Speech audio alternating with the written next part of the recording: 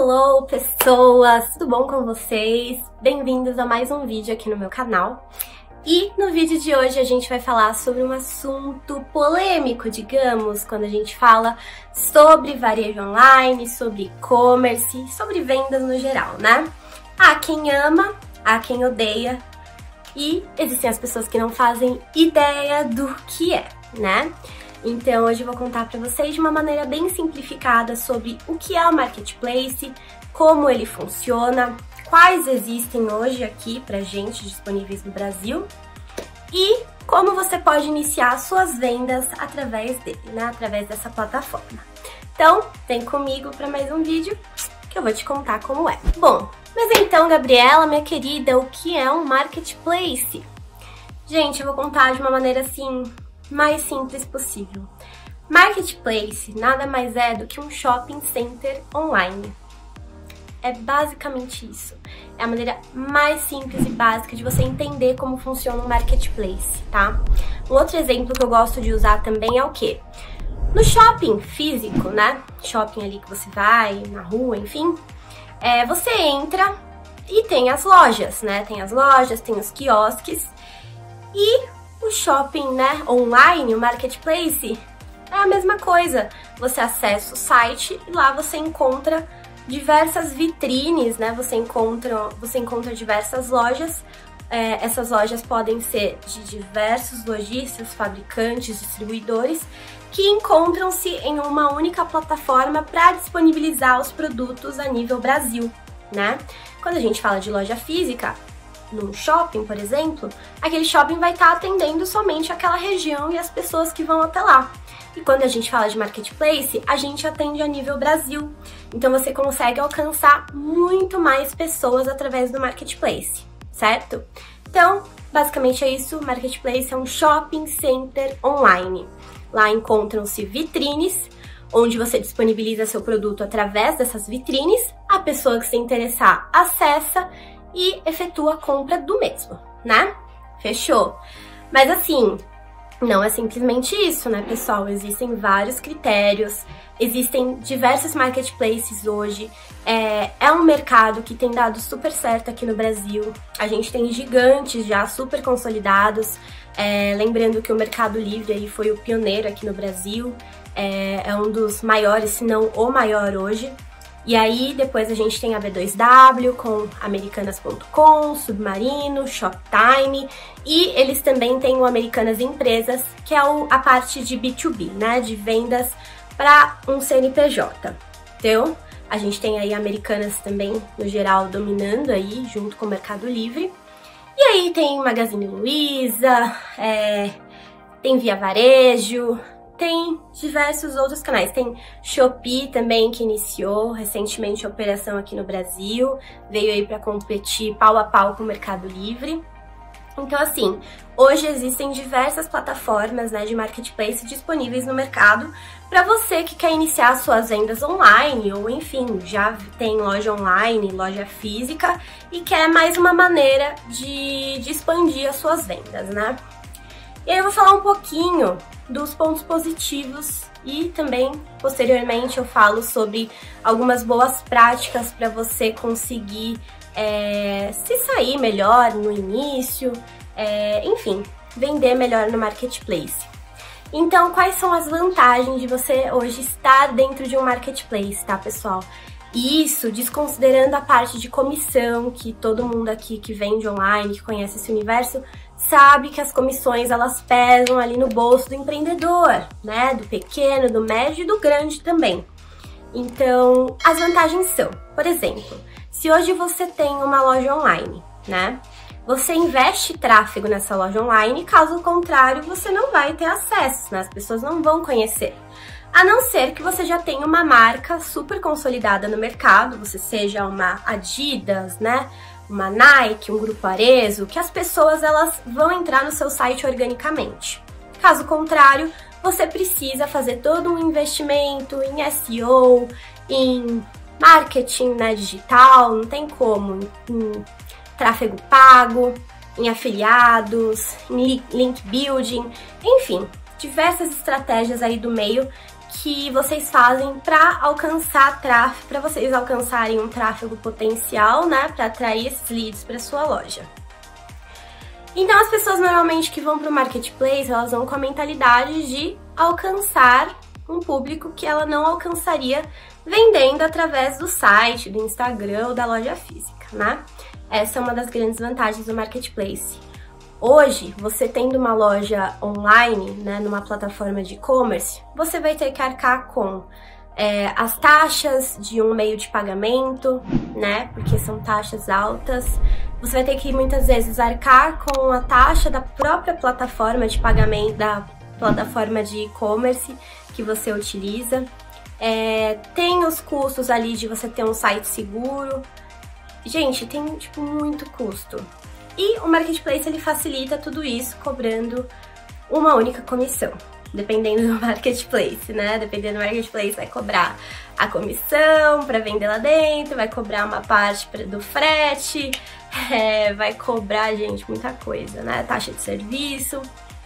Então depende do marketplace que você vai entrar. Mas basicamente eles fazem o papel de atrair as pessoas, né? Toda essa parte de tráfego pago, é, de investimento, investimento em mídia off, mídia on, é com eles, né? E aí a única responsabilidade que você tem vendendo dentro de um, market, de um marketplace é você garantir bons produtos, né? Produtos de preferência com originais, né? Caso você venda aí marcas, grandes marcas no mercado. Então você garante a qualidade, você garantir a entrega, garantir o atendimento e ter uma boa, é, um bom cadastro dentro do marketplace. Né? Esses são os princípios básicos. Agora, como você pode é, se destacar, como que faz para você cadastrar no marketplace, iniciar, quais são as boas práticas, né? É, bom, Basicamente, é você saber, primeiro de tudo, o produto que você vai vender. Se o seu produto for focado mais em moda, existem os marketplaces para esse segmento, né? A gente tem aí da Fit, que é muito forte em moda, acessórios, calçados, então é um, é um marketplace para você iniciar. Tem Zatini, é, então, assim, existem os marketplaces nichados. Ah, mas a minha marca é uma marca mais é, mais público A, mais nichada, mais fashionista. Então, de repente, tem outros marketplaces, Shop Together, né? É, tem os marketplaces mais de luxo. Então, gente, é só pesquisar para o segmento que você tem. Uma vez que você definiu o seu segmento, e gente, lembrando que grande parte dos marketplaces exigem que você tenha um CNPJ para iniciar, é, nem que você seja MEI. Então é bom você ter ali um CNPJ já no seu nome, tudo regula regulado. É, se você puder também abrir uma conta jurídica para ficar atrelada a esse CNPJ, melhor ainda, porque aí você vai poupar a dor de cabeça lá na frente, né? Agora sim, você já tá super estabilizado no online, conhece, tem CNPJ, já desenquadrou, é, já tá tudo certinho? melhor ainda, né? Já tem o seu segmento de produto? Ótimo, você já entende é, o que, que o seu consumidor quer, né? Isso daí já é um ponto a mais. Então, uma vez que você tem o produto, uma vez que você entende o perfil de compra do seu produto, você vai ver quais canais ali tem mais a ver com o seu negócio. De moda, você já sabe ali, da Fit, da Tini e tal. É, agora, se você vende mais eletrônicos, informática, cama, mesa e banho, enfim, o segmento que for. Aí se enquadra bastante em Mercado Livre, é, B2W, Magazine Luiza, Amazon. Então, é um mar de opções para você. Eu recomendo você escolher o primeiro ali que você quer iniciar o seu negócio. E grande parte das pessoas, né, acho que no Brasil todo, quando a gente fala de marketplace, eles lembram, eles pensam ali em Mercado Livre, porque eles acham que é mais fácil iniciar no Mercado Livre. Então, inicia no Mercado Livre. Ah, eu prefiro iniciar na Americanas. Inicia na Americanas. Gente, é só você entrar lá no site, joga no Google, não sei o site, joga no Google. É, quero vender na Americanas, quero vender no Marketplace, Mercado Livre, Amazon, que você vai encontrar o link direto para você se cadastrar. Cadastrou bonitinho? Ótimo. É a hora do quê? Dos produtos. É, caso você tenha um sistema, um ERP ou uma plataforma, você vai ter que provavelmente solicitar a chave de conexão para esse marketplace, né? A parte da integração que a gente fala. Então você vai solicitar, vai integrar. Ah, Gabi, eu não tenho é, IRP, eu tô começando agora, não quero, não quero isso para o meu início. Perfeito, você pode cadastrar, é, começar cadastrando produtos ali manuais que a gente fala, né? É, basicamente, você vai subir ou por uma planilha ou você pode ir cadastrando um a um dentro da própria plataforma de marketplace, né? E quando eu tô falando sobre isso, é meio que geral, tá, gente? Não tô falando de uma plataforma específica. É claro que cada marketplace vai ter o, os seus critérios né, de cadastro, é, tanto de cadastro é, inicial quanto de cadastro do produto. Então, você precisa validar para cada plataforma. Mas uma vez que você está liberado para cadastrar, gente, os, é, as coisas básicas assim que você precisa ter. Às vezes você fica, poxa, cadastrei meus itens, não tá vendendo, não tá dando certo. Mas aí o que, que você fez? Você pegou um item, jogou na cama, todo amassado, com o lençol todo amassado, tirou a foto do produto com a luz horrorosa, subiu lá e escreveu um monte de coisa nada a ver no título, é, colocou a palavra promoção, colocou a palavra desconto, compre agora, sabe? Não fez uma boa ficha descritiva, é, não colocou a quantidade, não cadastrou a parte de, de variações, né, de atributos do seu produto, seria cor, tamanho, é, caso seja eletrônico, né, a parte de voltagem. Então, gente, vocês precisam fazer uma boa ficha descritiva do seu produto. Caso contrário, imagina é, eu gosto de fazer muito essa referência de uma vitrine de uma loja com a sua vitrine online. Se você tá passando por uma vitrine e ela não te chama atenção, ela não tá bonita, não tá é, chamando, convidando você para entrar na loja e conhecer os produtos, como você espera que uma pessoa entre no seu anúncio, veja o anúncio todo zoado, com a qualidade horrorosa, a foto horrível, é, com a, a descrição, assim, não falando nada sobre o produto, às vezes as pessoas nem colocam descrição, e um título péssimo. E não tem nem opção para a pessoa escolher qual peça ela quer, se ela quer tamanho PMG, se for vestuário, 38, 40, 42, se for calçado, enfim. Então, pessoal, vamos se ligar à página de descrição, que é uma das coisas mais importantes, tá? Então, boa qualidade de foto, boa descrição, bom título, isso daí garante com certeza. Se você puder colocar, é, a, se o seu produto for revenda, coloca o fabricante, cadastra o EAN. O que, que é o EAN? É o código de barras. Cadastra porque isso ajuda também é, a você ser reconhecido no Google, tá? Produtos normalmente sem EAN, eles não ranqueiam dentro do Google. Então é super importante isso. Google eu digo Google Shopping, tá? ele não fica visível a Google Shopping. É, então, esse daí é um dos principais, assim, quando a gente fala de vender dentro de um marketplace. Óbvio que tem também a parte de você acertar no item, né, gente? Não adianta você vender uma coisa que, é, que às vezes não, não tem muito, muita aderência, né? As pessoas não, não tendem a comprar muito online esse produto, então fica um pouco difícil. É, e aí, falando um pouquinho de outras, outros critérios aí que ajudam você a vender melhor, é a parte de frete e preço do produto. Então hoje, obviamente, gente, quando a gente está online, você está competindo com o Brasil todo, né? Você está competindo dentro daquele marketplace, esse marketplace está concorrendo entre outros marketplaces, então você precisa o quê? Ter preço. É, não basta você cadastrar o produto, ter o melhor produto do mundo, seu preço ser altíssimo, né? Tá totalmente fora ali do, do que os seus concorrentes estão praticando. Então é importante você fazer um estudo ali dentro daquele canal de quais preços estão sendo praticados. Às vezes, se por exemplo tem um produto que tá com um preço bizarro, assim, que você não faz ideia de como aquela pessoa tá vendendo aquele preço, você para e pensa: poxa, já tem alguém ali vendendo aquele produto que eu pensei em vender e tá fazendo um preço que eu não vou conseguir chegar. Então, será que vale a pena o desgaste de você ficar ali brigando por preço por aquele anúncio? Então, às vezes é o que? É melhor você encontrar a sua curva A, né? Qual que é a curva A aqui do meu sortimento, dos produtos que eu vendo? É, encontra essa curva A e foca nela. Ah, mas Gabriela, minha curva é justamente o que tá vendendo com um preço bizarro nesse marketplace. Ok, aí o que pode acontecer?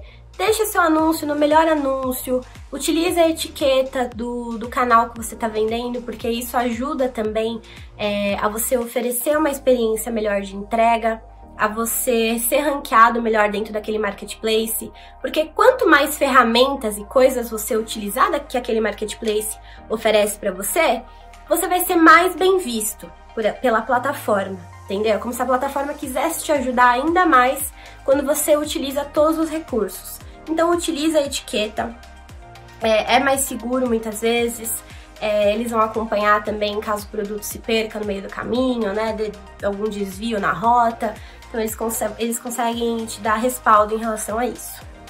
É, e aí, bom, então, ah, a curva A é algo já que está sendo vendido e você não consegue bater o preço, você tem aí duas opções. Opção 1, de repente procurar um fornecedor melhor ou buscar uma melhor negociação com o fornecedor que você já tem. Ah, realmente não consigo, não consigo chegar no preço que esse cara tá vendendo. Poxa, então foca nos demais itens do seu sortimento. Tenta achar uma nova curva A. Ou então foca na sua cauda longa. O que é cauda longa? É aqueles demais itens que você vende também, não tanto ali quanto o curva A, porque curva A você dedica mais energia nele, mas são produtos que você às vezes consegue até ter uma margem melhor e às vezes até um lucro melhor, né? Então foca na curva, na cauda longa, na curva B, curva C dos seus produtos. E a curva A você vai deixar lá. Vai deixar bonitinho, cadastrado, com a ficha descritiva perfeita, com estoque. E aí, quando o carinha ali principal é, que tá vendendo horrores acabar o estoque dele, porque, gente, uma hora acaba, né? Ainda mais em Black Friday. Você pode entrar na ruptura, né? Você vai suprir ali aquele anúncio que do principal que acabou o estoque e você vai estar tá lá com o seu anúncio impecável tá? Então essa é uma forma de você aproveitar a curva A, né? Não ser tão agressivo em preço para poder para ficar assim com zero lucro, ter uma margem negativa e você aproveitar as vendas. Então, deixa sua curva, curva lá bonitinha, cadastrada, com estoque. Quando o principal acabar o estoque, seu produto vai estar tá ranqueadinho ali legal, pode vender, tá?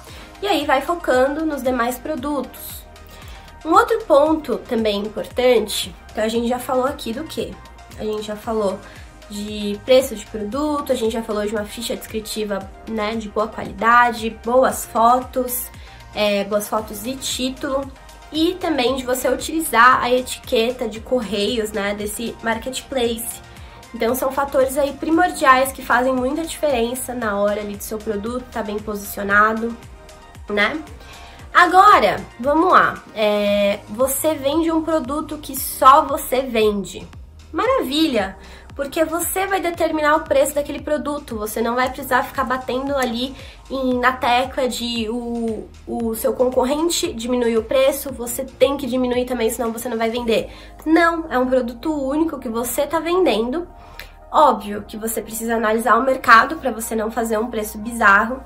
Mas você não precisa ficar na briga de preço, né? Seu produto vai ser único dentro daquela plataforma.